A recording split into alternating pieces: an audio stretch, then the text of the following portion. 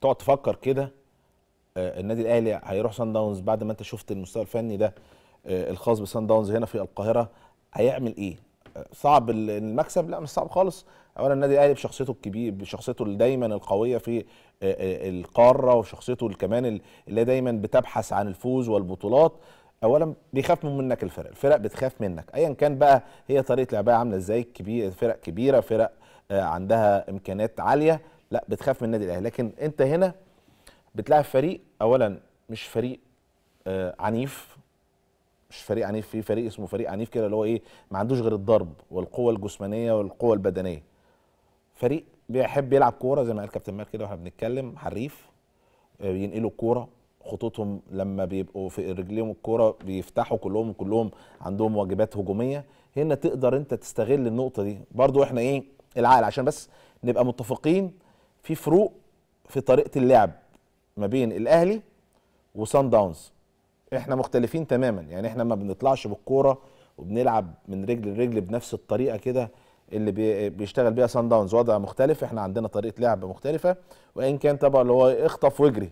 يعني أنا رأيي في الماتش اللي جاي ده اخطف هدف وابتدي اتعامل عليه بالأساس ده لأنك بتلعب فريق قوي هتلعب في طريق يعني آه، بيلعبك هو دايما وقت الظهر كده أو وقت العصر كده تبقى الشمس هناك بترهقك هو واخد على الجو ال- ال- العام في ال- في الشغل ده هو واخد عليه وبالتالي الأمور الخاصة بالماتش ده محتاج ديتيلز وحاجات صغيرة جدا تقدر تكسبك الماتش لو أنت اشتغلت عليها صح. أعتقد الراجل طبعا هيكون قاري الماتش من خلال ال- الفرقة هنا لما شافها وفي نفس الوقت إمكانياتهم وطريقة اللعب لأن طريقة اللعب مش هتختلف كتير عن اللي كانت هنا. ممكن تبقى أشرس شوية ولكن تقدر تستغلها من خلال طريقة لعبك وإمكانيات لعيبتك وسرعات لعيبتك وفكر أو تركة ممكن أنت بتعملها سواء بقى في آه، لما بتاخد الكورة وتبقى في تحول من الدفاع للهجوم أو من خلال ضربة ركنية كرة ثابتة حاجات كتير تقدر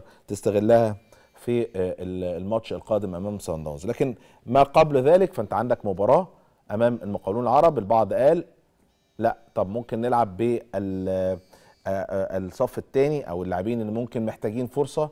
هنا النادي الأهلي طبعا الموضوع صعب لو حد كان بيفكر بالنقطة بالشكل ده لا الموضوع بالنسبة للنادي الأهلي إن هو بيقترب من بطولة الدوري متصدر على فرق قوية متصدر على على بيراميدز على فيوتشر على نادي الزمالك اللي بيبتعد في الوقت الحالي عن المنافسة.